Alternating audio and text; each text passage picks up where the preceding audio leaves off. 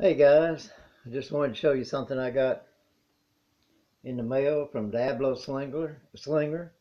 Uh,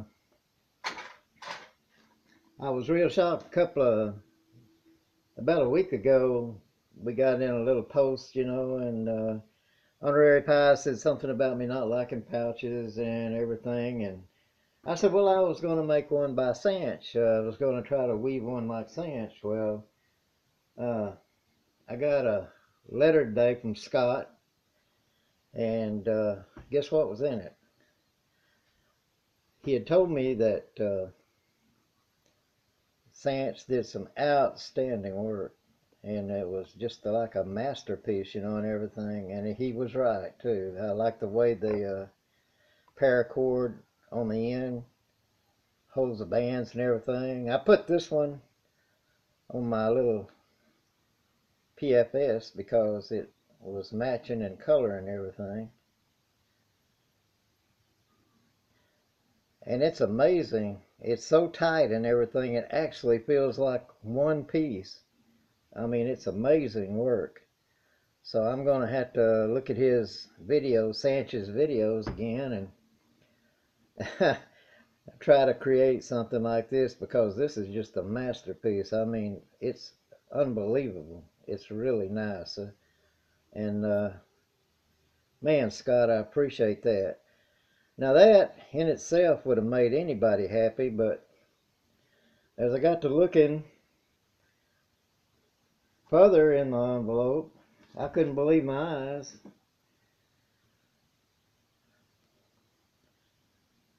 He sent a sure shot. The little hole there to hold the ball in and the color it'll go on this right here.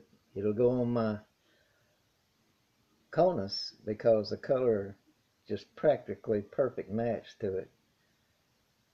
Man Scott I don't know how to thank you for that so I doubt if I'll be shooting pouchless for a long time. So you see uh, you think, wow, that's amazing. Well, that's not all. I dug a little bit further and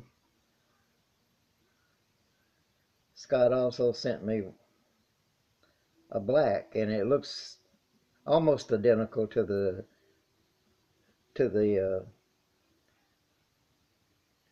sure pouch.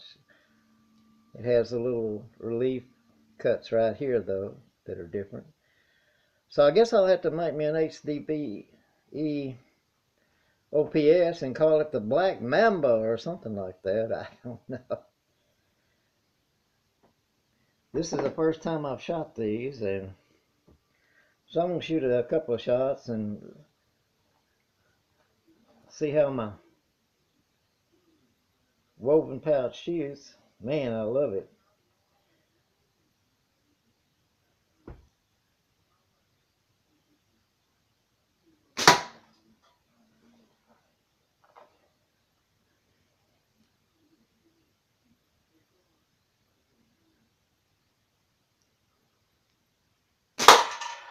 Oh, I think that one put a hole through it. Whew. I might have to draw back and really let it rip in a minute. I'm getting used to it.